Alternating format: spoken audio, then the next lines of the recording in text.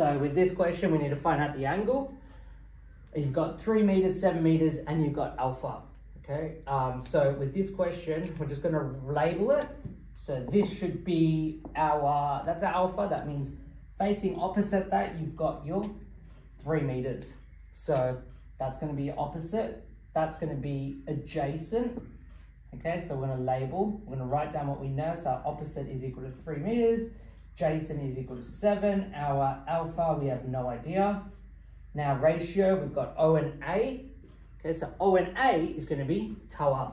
So T-O-A, uh, T-O-A, that's tan theta, or in our scenario, it is tan alpha is equal to O over A. Then we're gonna substitute.